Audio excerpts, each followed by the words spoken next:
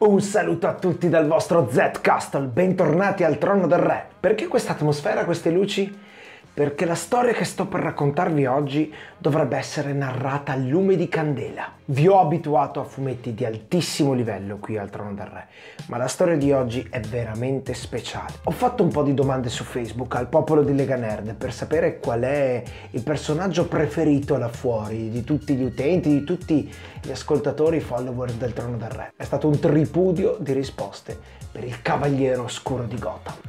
Batman è il più grande, Batman piace a tutti ed è per questo che sto per raccontarvi l'ultima storia di Batman. Sigla! Fin dai tempi più antichi, il trono di ogni regno ha avuto il proprio re.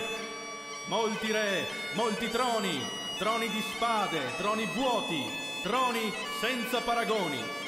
Fino ai giorni nostri, fino al trono che rende re ognuno che ivi si segga, per leggere i fumetti.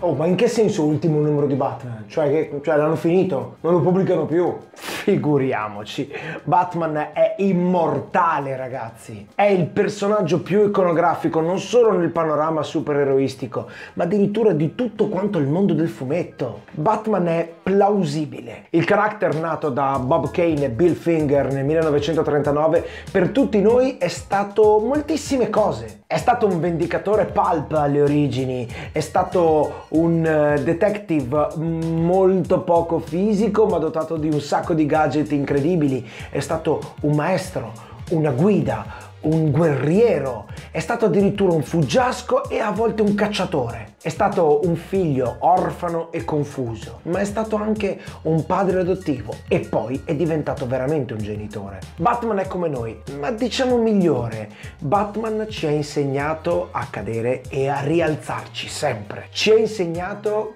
che un semplice uomo può compiere miracoli anche senza il mantello rosso e la tutina blu. Ma prima o poi, come ogni uomo, invecchierà, come abbiamo visto nel Ritorno del Cavaliere Oscuro di Frank Miller, e prima o poi dovrà addirittura morire. Editorialmente lo sappiamo, il personaggio non potrà mai morire.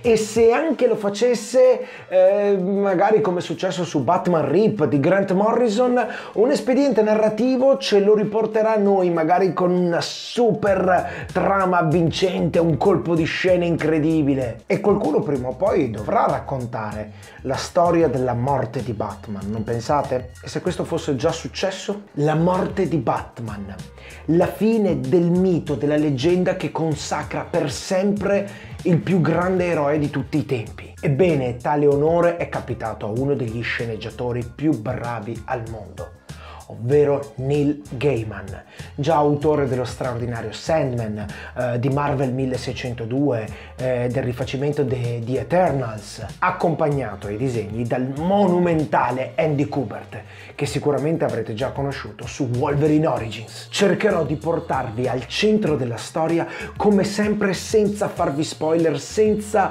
rovinarvi il gusto e il piacere della scoperta, come tradizione qui al Trono del Re. Siete pronti? Perché state per assistere al funerale di Batman. Una macchina particolarmente lussuosa sfreccia tra i vicoli in un quartiere abbastanza fatiscente e si ferma all'improvviso. Noi lo conosciamo questo quartiere, sì, decisamente. Sì, sì, è Crime Alley, il luogo dove tutto ha avuto inizio. Ma non è così veramente, o meglio, non lo è più da tanti anni. Una splendida donna esce dall'auto e con una grazia veramente felina si appropinqua verso l'entrata di una specie di bar, di locanda. Il ragazzo all'entrata si offre di tenerle d'occhio l'auto per un misero dollaro, ma l'elegantissima donna gli sorride e gli dice guarda, ho già chi sta facendo la guardia alla mia auto. Il ragazzo si gira e vede un sacco di gatti che cominciano a circondare l'autovettura. Si tratta di Selina Kyle, Catwoman. Ma quegli abiti, quell'acconciatura così vintage, ma eh, sembra essere veramente fuori dal tempo. E c'è una voce narrante proprio a fianco a noi che osserva la cosa, la sta osservando come se fosse seduta vicino a noi. All'interno dello sgangheratissimo bar Eh, vediamo un bancone, è un vecchio che sta lucidando dei bicchieri. Sono passati tanti anni, ma quegli occhi si riconoscerebbero ovunque. È Joe Chill, l'assassino dei genitori di Bruce Wayne. Dice che deve accogliere gli ospiti. Joe Chill, ma, ma non era morto. Alfred, irremovibilmente austero nel suo aplomb particolarmente inglese, accoglie Selina Kyle. Sì, la bellissima Selina non se lo sarebbe persa per nulla al mondo. Le sedie sono ordinate, il rinfresco è servito, gli ospiti stanno arrivando e in fondo alla sala si vede una bara aperta. E per la prima volta in assoluto all'interno di quella bara aperta vediamo un corpo. Sì, il corpo di Batman. Pian piano arrivano tutti, due facce, Pinguino, Jarvis Stitch, Joker e Harley Quinn, il commissario Gordon e la figlia Barbara, ancora sulla sedia a rotelle. Ma com'è possibile? Barbara è Batgirl. Sono passati tanti anni da The Killing Joke. Barbara ha ricominciato a camminare. Aspetta, ma che ci fanno Dick Grayson, Ra's al Ghul, Mr. Freeze, il tenente Harvey Bullock con Montoya, tutti insieme nella stessa stanza senza che si scateni il finimondo? Possibile che il Cavaliere Oscuro sia veramente morto e che tutti, amici e nemici, per una volta abbiano messo da parte eh, le passate rivalità per tributare la caduta di un grande eroe o di un grande rivale? Tutti prendono posto, perché un funerale non è tale senza un discorso di commiato.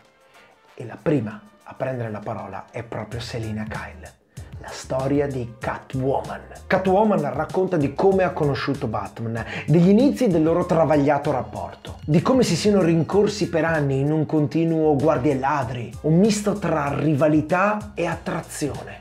Ma è tutto strano, è come se fosse un misto di tanti tanti ricordi, cioè vediamo addirittura Catwoman con dei costumi diversi, prima con la testa di gatto, poi nel costume che conosciamo tanto caro della versione anni 60. Selina ci racconta di come è morto Batman. Sì, lei lo ha visto morire, anzi lei lo ha lasciato morire. Batman è entrato rocambolescamente all'interno del negozio che gestiva Selina, è ferito, è ferito molto gravemente. E in questo ricordo Selina ci racconta di come lo abbia ammanettato al divano e l'abbia lasciato morire lentamente, proprio perché non poteva più sopportare lo strazio di saperlo fuori sui tetti a combattere la criminalità e non sapere mai se sarebbe tornato vivo o morto. Quindi a questo punto meglio perderlo per sempre. Vi ricordate della voce narrante che era seduta giusto a fianco a noi? Ebbene riprende la parola. Ha osservato tutto questo, ma non capisce, non può essere possibile. Dice che questa cosa non è mai avvenuta veramente. E allora capiamo, la voce che abbiamo al nostro fianco è quella di Bruce Wayne. È il suo spirito,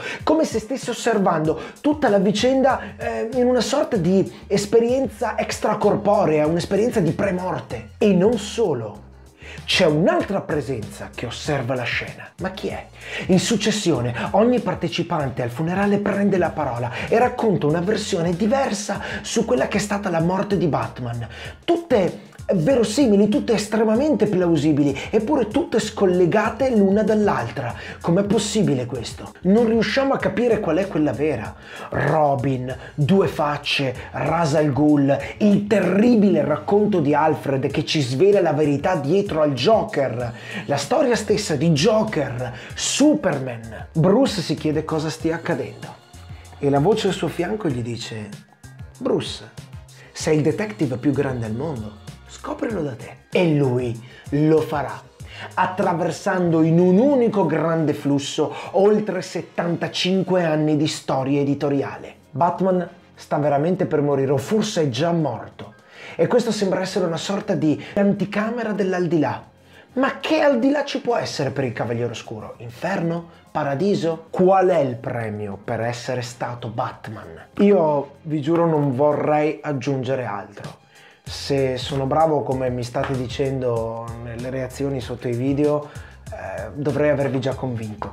Questa è l'ultima storia di Batman. Vi dico che questa coppia geniale, attraverso i testi e attraverso i disegni, ha veramente tributato tutta l'intera storia editoriale di Batman in un unico piccolo volume. C'è tutta la vita del pipistrello qui dentro, dagli esordi di Bob Kane al Batman di Neil Adams, dalla versione seriale con Adam West, fino alle versioni più moderne, ad esempio di Arkham Asylum. Addirittura l'uomo dentro la bara in alcune pagine assomiglia al Batman di Frank Miller, in altre assomiglia al Batman di Carmine Infantino, addirittura troviamo quella di Tim Sale del lungo Halloween.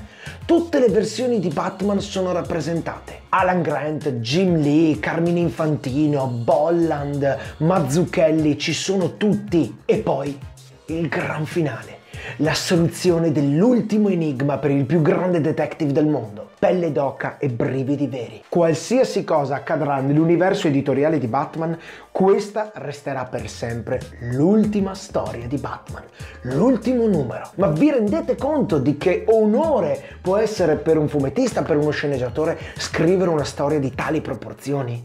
A differenza di Che cos'è successo all'uomo del domani di Alan Moore, che segnava la fine di un'epoca d'oro, di una golden age per Superman, Neil Gaiman non si limita ad omaggiare e tributare un determinato periodo. No, Neil Gaiman tributa ben sette decadi in un unico volume. E davvero Andy Kubert in questa graphic novel fa dei miracoli. L'evoluzione di tutte le tavole, dagli schizzi alle matite alle chine, è qualcosa di veramente pazzesco. Troverete tributi grafici e segni distintivi di ogni singolo disegnatore che ha lasciato il segno con il Cavaliere Oscuro. Un lavoro monumentale. Io adoro Batman. A volte mi riconosco talmente tanto in lui che in certe situazioni della vita, della quotidianità, mi chiedo cosa farebbe Batman al posto mio. Il fumetto per me va oltre il puro intrattenimento e se state guardando questo video scommetto che un po' la pensate così anche voi. Ho amato e amerò per sempre il ritorno del Cavaliere Oscuro, così come ho amato The Killing Joke, così come amo il lungo Halloween o Batman anno 1, ma emotivamente parlando, credo che che cos'è successo al Cavaliere Oscuro sia la storia più bella di Batman mai scritta. Sì, è personale, è una cosa istintiva. In ogni qualsiasi caso, questo numero non può mancare alla vostra collezione. Ai vostri figli racconterete tutta la grande leggenda di Batman e gli direte che un giorno potranno leggere l'ultimo numero del Cavaliere Oscuro, quando saranno pronti vi pare poco? Io vi do appuntamento alla prossima puntata del Trono del Re. Continuate a lasciare like sulla pagina Zetone Z Castle, eh, commentate, venite a trovarmi al giovedì sulla diretta che facciamo dalle ore 19 in poi su Lega Nerd. Mi raccomando, continuate a viaggiare con il vostro Z. Ci vediamo in giro ragazzi, un saluto dal vostro Z Castle, yeah!